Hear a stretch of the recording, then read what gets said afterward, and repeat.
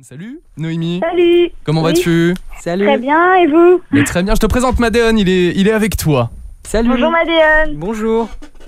Bon, déjà, je te remercie beaucoup parce que je suis aussi une grande, grande fan de Lady Gaga Ouais. et de Coldplay. Et euh, c'est vrai que la, ma chanson préférée de Lady Gaga, c'est Gypsy, de son dernier album. Yes, moi aussi. Et je sais que tu as travaillé dessus, donc euh, voilà. Bah, C'est super, donc voilà. mais je peux t'en parler, c'était vrai parce que j'ai un, j'ai un souvenir très ému de cette chanson. Euh, en fait, euh, en fait, on s'est rencontrés pour la première fois en vrai après son show au Stade de France. D'accord. Donc, euh, je suis allé la voir au Stade de France et puis on est allé, euh, je suis retourné dans sa, dans sa chambre d'hôtel où elle avait euh, forcément un piano à queue comme tout le monde. Et donc, du coup, je me suis assis au piano et puis j'ai commencé à, à jouer des accords que j'avais.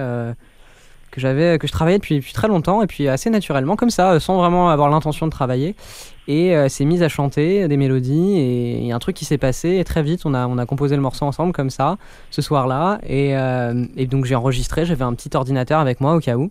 Et j'ai enregistré euh, ces idées pour être sûr de pas les perdre.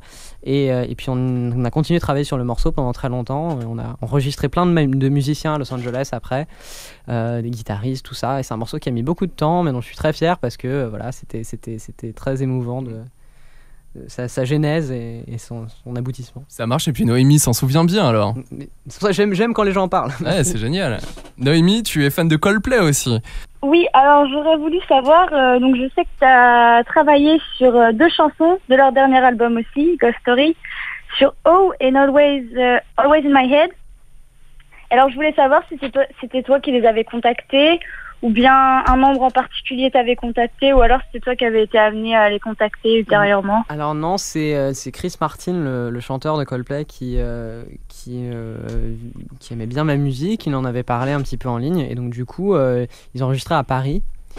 Et, euh, et voilà, ils ont demandé si j'étais disponible. Euh, Moi, j'habite pas à Paris, mais c'est c'est un train, donc c'est facile.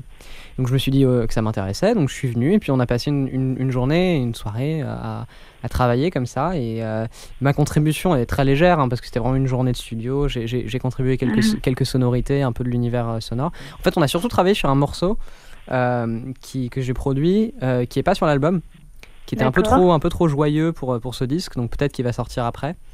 Euh, parce que c'est vrai que Ghost Story c'est un album plus, plus mélancolique, euh, voilà.